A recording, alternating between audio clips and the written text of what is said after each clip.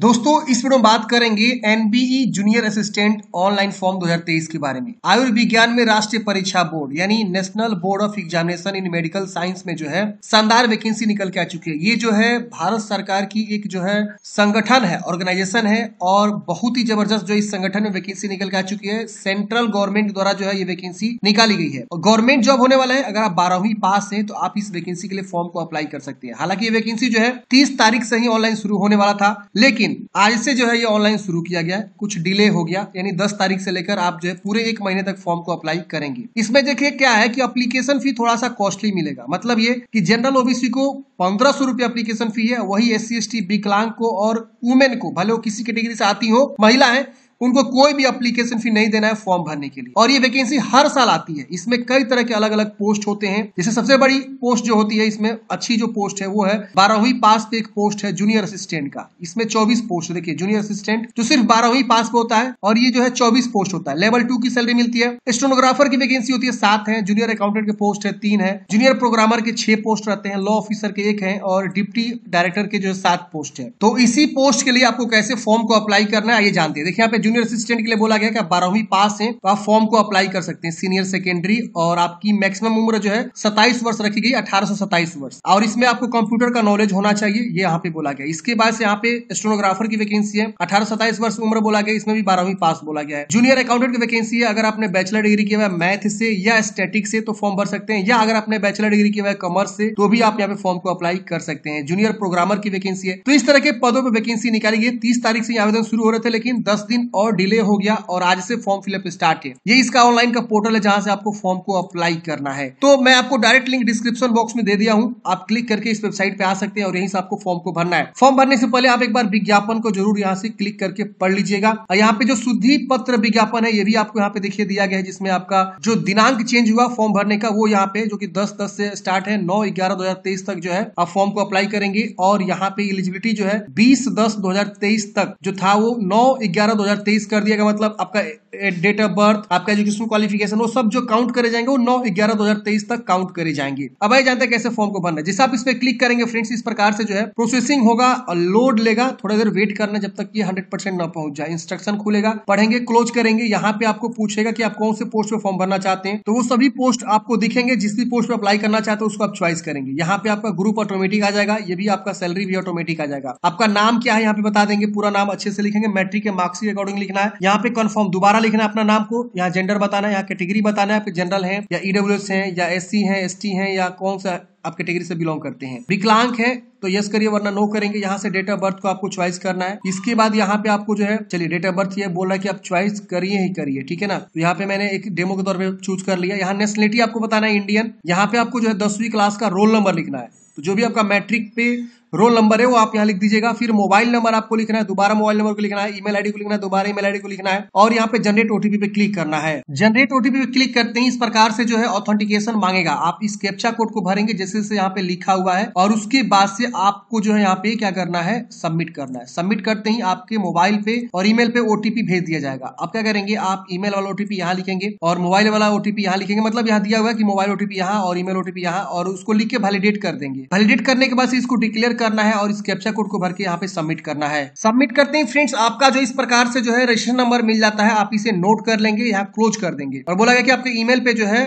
एक पासवर्ड भी भेज दिया गया एप्लीकेशन नंबर भी भेज दिया गया। इन द फ्यूचर आप लॉगिन करना चाहते हैं तो आप जो है लॉगिन भी कर सकते हैं। अब यहाँ पे आपको जो इस प्रकार से देखिए, आपका एप्लीकेशन डिटेल्स यहाँ पे शो हो जाता है। आपको नीचे आना है, यहाँ पे सारी जानकारी आपकी शो होती है। और यहाँ पे अभी जो है, यहाँ पे कोई भी ऑप्शन अभी नहीं आ रहा है। मतलब ये कि यहाँ पे अभी ऑनलाइन करने का कोई भी बटन यहाँ पे इनेबल नहीं दिख रहा है। तो हम थोड़ा सा वेट कर लेते हैं। हो सकता है कि आपके साथ भी ऐसा हो। ठीक है ना? हम देखते हैं यहाँ पे जो है कितने देर बाद जो है हमारा यहाँ पे ऑप्शन आता है। हम एक बार क्या करते हैं, इसे लॉग आउट करके दोबारा लॉग इन करते हैं। चलिए इसे लॉग आउट कर दिए। लॉग आउट करके हम दोबारा इसे लॉग इन करते हैं। देखते हैं हमारा यहाँ पे आता है कि नहीं। फॉर्म भरने का ऑप्शन। दोस्तों, हमने दोबारा भी यहाँ पे लॉग इन कर लिया। हो सकता है कि अभी अच्छे तरीके से ये फॉर्म फिलअप स्टार्ट नहीं हुआ है। ठीक है ना? तो अभी हम वेट कर लेते हैं। देखते हैं कब तक ये इनेबल होता है। फिर हम आपको जो है प्रॉपर बताएँगे जानकारी को क्या हुआ। आफ्टर टू डेज़ मैंने दोबारा यहाँ पे लॉग इन किया। मतलब दो दिन बाद हमने जो यहाँ पे लॉग इन किया, तब जाके मेरे को जो यहाँ देखिए गो टू अप्लीकेशन फॉर्म का ऑप्शन आया। यानी दो दिन पहले भी ये फॉर्म स्टार्ट नहीं हुआ था। यानी सिर्फ़ रजिस्ट्रेशन हो रहे थे। लेकिन अभी आप रजिस्ट्रेशन करेंगे और तुरंत लॉग इन करेंगे लॉग आउट करके तो आपको गो टू अप्लीकेशन एप्लीकेशन का ऑप्शन मिल जाएगा। अब आपको कोई दिक्कत नहीं होने वाली है। चलिए, हम यहाँ गो टू एप्लीकेशन फॉर्म पे क्लिक करेंगे। हम इसी का वेट कर रहे थे कि अब ये आएगा। ठीक है?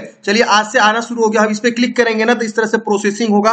थोड़ी देर आपको वेट करना है और जब तक ये हंड्रेड परसेंट न हो जाए और आपको प्लीज़ वीडियो को लाइक कर दीजिए। अब यहाँ पे इंस्ट्रक्शन खुलेगा क्लोज करेंगे। अब यहाँ पे आपकी जानकारी ऑलरेडी होगी, थोड़ा सा नीचे आना है। यहाँ बोलेगा कि फ्रेंड्स आप बताइए कि मैरिड है कि अनमेरिड है? यहाँ पे आपको बताना है, यहाँ पे अपना फादर्स नेम या हस्बैंड नेम अगर कोई लेडीज़ है तो हस्बैंड नेम लिख सकती है, यहाँ पे मदर्स नेम यहाँ पूछ रहा है कि are you working in N B E M S on contract outsourcing basis क्या आप जो ऑलरेडी सर्विदा या आउटसोर्स के बेस पे इस कंपनी में काम कर रहे हैं मतलब एनबीई में? अगर कर रहे हैं तो हाँ करिए, वरना नहीं करिए। एक्स सर्विस मैन है तो यस करिए, वरना नहीं करेंगे। आप जो है joined a civil post by availing benefits of reservation of ex service man क्या आपने ऑलरेडी जो ज्वाइन किया हुआ सिविल पोस्ट एक्स बेनिफिट्स का अवेल करते हुए? यस नो आपको बताना है। Have you been ex service man disabled in operation during hospitality आप एक्स सर्विस मैन है तो यस करिए, वरना नो करे आप सेंट्रल गवर्नमेंट सिविलियन इंप्लॉय है तो है, यस करिए, वरना नो करे। क्या आप केंद्र सरकार में तीन साल के निरंतर सेवा के साथ एस विभाग कर्मचारी है? अगर आप इस तरह कैंडिडेट है तो यस करिए, वरना नो करेंगे। अब यहाँ पे आपको जो आइडेंटिफिकेशन डिटेल्स देना है, यहाँ पे आपको जो एक सरकार द्वारा जारी फ़ोटो पहचान पत्र, इसमें से कोई भी आप दे सकते हैं passport PAN card voter ID card driving licence जो भी आपके पास है, उसका आप चुनाव करेंगे और उसकी संख्या यहाँ लिख देंगे। जैसे मैंने यहाँ पे पेन कार्ड चूज़ किया है ना तो हम पेन नंबर यहाँ लिखेंगे। आप जो यहाँ चुनाव करेंगे, उसकी संख्या यहाँ पे लिख देंगे। यहाँ पे अपना जो है कोरोस्पेंडस एड्रेस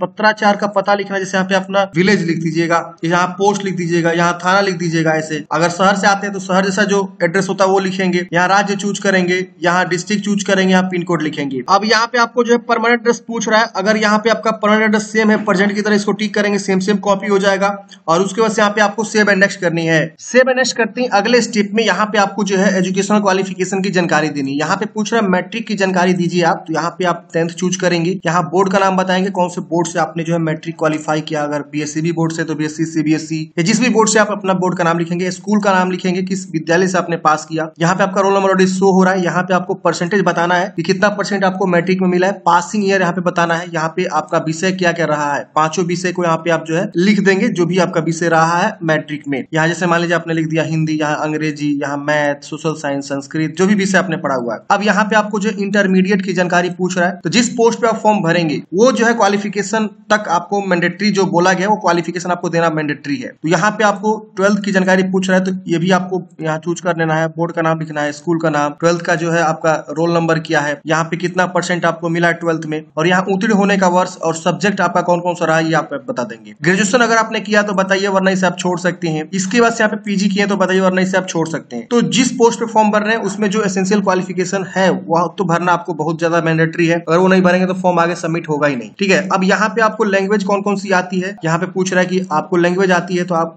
यहाँ ऑलरेडी हिंदी इंग्लिश यहाँ पे आपको मैंडेटरी है तो जो ऑलरेडी लिखा हुआ है, और आपको इसको टिक कर देना रीड राइट स्पीक आप कर सकते हैं। और कोई लैंग्वेज आती है तो लिखिए, वरना इसे आप छोड़ देंगे। यहाँ पे एक्सपीरियंस मांग रहा है, अगर आपके पास एक्सपीरियंस है तो बता सकते हैं, नहीं है तो आप इसे छोड़ सकते हैं, कोई दिक्कत नहीं होने वाला है। अब यहाँ पे आपको सेव एंड नेक्स्ट करनी है। सेव एंड नेक्स्ट करते हैं, अगले स्टेप में आपको डॉक्यूमेंट्स अपलोड करने का सेक्शन आएगा। यहाँ पे आपको जो है recent colour passport size photograph आपको अपलोड करनी है। यहाँ पे आप क्लिक करेंगे तो यहाँ देखिए आपको चूज़ करने का ऑप्शन आएगा। यहाँ देखिए फोटोग्राफ का ऑप्शन आ रहा है। आप इस पर क्लिक करेंगे या कैप्चर लाइव कैप्चर करने का भी है या फोटोग्राफ है। तो फोटोग्राफ आप क्लिक करेंगे, तीस से सौ के बीच आप फोटोग्राफ यहाँ चूज़ करेंगे ऑटोमेटिक अपलोड हो जाएगा जेपीजी फॉर्मेट इसके बाद यहाँ हस्ताक्षर अपलोड करने उसी तरह से यहाँ पे आप आएँगे, यहाँ सिग्नेचर आप अपना जो है चूज़ कर लेंगे। इसके बाद यहाँ पे आपको जो है टेंथ क्लास का सर्टिफिकेट आपको यहाँ पे अपलोड करना है जिसपे आपका जो है एज प्रूफ लिखा होना चाहिए। तो उसको आप यहाँ चूज़ करेंगे और यहाँ पे बोला गया कि 50 से एक एमबी के बीच होना चाहिए। पीडीएफ जेपीजी पीएनजी कोई भी फॉर्मेट में चल जाएगा। इसको आप चुनाव कर लेंगे। तो ये सब डॉक्यूमेंट्स आपको अपलोड करना यहाँ पे ग्रेजुएशन का मांग रहा है। अगर आप ग्रेजुएशन वाले बेस पे फॉर्म भर रहे तो ग्रेजुएशन की जानकारी यहाँ पे एड करेंगे। यहाँ पे ट्वेल्थ का मांग रहे हैं तो हम जिस पोस्ट पे फॉर्म भर रहे हैं, वो है असिस्टेंट तो यहाँ पे टेंथ ट्वेल्थ देना मैंडेटरी है। तो यहाँ पे देखिए स्टार मार्क्स टेंथ ट्वेल्थ पे लगा हुआ है। तो जिस पोस्ट पे फॉर्म भरेंगे, उसके अकॉर्डिंग जो है, वो सब स्टार मार्क्स लगेगा और उसको आपको अपलोड करना मैंडेटरी होगा। इसके बाद यहाँ पे आपको जो है, यदि कोई उच्च योग्यता है तो उसके बारे में बताइए। अब यहाँ पे आपको कंप्यूटर का जो है सर्टिफिकेट मांग रहा है। तो यहाँ पे कंप्यूटर सर्टिफिकेट बोला गया है। तो जो भी आपने किया हुआ देखिए बी टेक या बीई बीसीए या जो डीईओ एसी वाला होता है या डिग्री इन कंप्यूटर या आईटी या इलेक्ट्रॉनिक्स जो भी आपने किया हुआ है डीसीए डीसीए कोई भी हो, उसकी जो है प्रमाण पत्र का सर्टिफिकेट जो है आप यहाँ पे बता देंगे। मतलब की ये आपको बस बताना है कि हाँ मुझे कंप्यूटर चलाना आता है, मैं कंप्यूटर में सक्षम हूँ हूँ काम करने के लिए, बस उसका सर्टिफिकेट यहाँ पे मांग रहा है। तो कोई भी आपके पास सर्टिफिकेट हो, आप यहाँ पे बता देंगे। उसको स्कैन करके अपलोड कर देना है। यहाँ पे जो है एक्सपीरियंस सर्टिफिकेट है तो अपलोड करने वरना इसे छोड़ दीजिए। यहाँ एनओसी है तो लिखिए बताइए वरना इसे छोड़ दीजिए। यहाँ पे अपना जो है कास्ट सर्टिफिकेट या अगर विकलांग रहेंगे तो विकलांग एक सर्विस मैन रहेंगे एक सर्विस मैन आपको यहाँ पे जो है, उसका भी फ़ोटो कॉपी आपको यहाँ पे देना मैंडेटरी है। फ़ाइल साइज़ सबका वही रहेगा। और जो आपने आईडी प्रूफ चूज़ किया, जैसे PAN card voter ID card driving licence इसमें से जो भी आपने चूज़ किया, उसका जो है यहाँ पे स्कैन करके अपलोड कर देनी है। अब यहाँ पे आता है एग्ज़ाम सिटी का प्रीफरेंस। आप एग्ज़ाम सेंटर कहाँ जो है रखना चाहते हैं? तो आप ऑल ओवर इंडिया जहाँ रखना चाहते हैं, वहाँ आप चुनाव कर सकते हैं। तो यहाँ पे देखिए बिहार में कई जगहों पे जो एग्ज़ाम सेंटर आपके बनाए गए हैं। तो आप अपने अकॉर्डिंग जो है चुनाव करके और देख लेंगे कहा आपको निरस्त पड़ है, वो चुनाव कर लेंगे। तीन प्रीफरेंस आपको देना है। आपका अप्लीकेशन फ़ी लगता है तो यहाँ शो होता, नहीं लग रहा है तो ज़ीरो दिखा रहा है। इसको डिक्लेयर करना है यहाँ पे और इस कैप्चा कोड को भर के यहाँ पे आई एग्री करेंगे और उसके वजह प्रीव्यू करेंगे। फोटोग्राफ यहाँ पे आपको एक लाइव भी कैप्चर करना है। आप यहाँ देखिए, दोनों पे स्टार मार्क्स लगा हुआ ये देखिए कैप्चर फोटोग्राफ जैसे आप इस पे क्लिक करेंगे तो जो भी कैंडिडेट्स यहाँ पे फॉर्म भर रहा है, जिसका भी आप फॉर्म भर रहे हैं, उसका ही लाइव फोटोग्राफ आपको यहाँ पे कैप्चर करना है। और यहाँ लाइव फोटोग्राफ कैप्चर करने का यहाँ पे जो है गाइडलाइंस भी दिया गया है। यहाँ पे जब भी आप क्लिक करेंगे ना तो ऑटोमेटिक यहाँ पे बोलेगा अलाउ करिए कैमरा को। तो आप यहाँ अलाउ कर देंगे तो ऑटोमेटिक कैमरा आपका जो है ओपन हो जाएगा और वो फ़ोटो लेना स्टार्ट कर देगा। तो इस तरह से आप अपना जो है फोटोग्राफ को कैप्चर करेंगे लाइव उसके बाद एक और यहाँ पे फोटोग्राफ आपको यहाँ चूज़ करके अपलोड करना, जो कि मैंने यहाँ पे अपलोड कर दिया है, इसे क्लोज कर देंगे। ये देखिए मेरा अपलोड हो चुका है। तो इसी तरह से हम बारी बारी सबको अपलोड करके यहाँ पे प्रीव्यू करते हैं। प्रीव्यू करते हैं, आपकी सारी जानकारी यहाँ पे शो होगी कि जो भी अपने जानकारी यहाँ पे दिया, वो सब चीज़ सही है कि नहीं। यहाँ पे एक बार से मिलाएँगे यहाँ पे ऊपर नीचे करके। और अगर सब चीज़ सही है तो आप यहाँ क्लोज करेंगे कॉर्नर पे और यहाँ पे आपको जो है सबमिट का बटन मिलेगा, आप सबमिट करेंगे। अगर गलती है तो सबमिट मत करिएगा बैक जाकर पहले सुधारिएगा। नहीं गलती तो सबमिट करेंगे। पूछ रहे आप श्योर है ओके कर देना है। ओके करते ही आपका फॉर्म फाइनल सबमिट यहाँ पे हो जाएगा। अगर आपको अप्लीकेशन फ़ी लगता तो आपको अप्लीकेशन फ़ी जमा करना होता और उसके बाद जो आपका फॉर्म फाइनल सबमिट होता। तो इस तरह से फ्रेंड्स हमने जो है डिस्कस किया कि एनबी में जो वैकेंसी निकाली गई है अलग अलग पोस्ट पे उसके लिए कैसे आपको फॉर्म को अप्लाई करना है, आपके मन में कोई भी डाउट्स है कमेंट है, आप कमेंट बॉक्स में पूछ सकते हैं। बहुत ही ज़बरदस्त वैकेंसी होती है। तो फॉर्म भरने से पहले आप एक बार जो है, यहाँ पे सारी जानकारी को ज़रूर पढ़ेंगे और जो भी मैंने आपको जानकारी दिया, उसी तरह से आपको जो फॉर्म को अप्लाई करना है। तीस दस तक आप फॉर्म को अप्लाई कर सकते हैं। डेट बढ़ाया भी गया है क्योंकि दस तारीख से आवेदन शुरू होने वाला था। तो लेकिन तेरह तारीख से प्रॉपर ये वेबसाइट वर्क करना स्टार्ट किया। मिलता है नेक्स्ट वीडियो में। जय हिंद।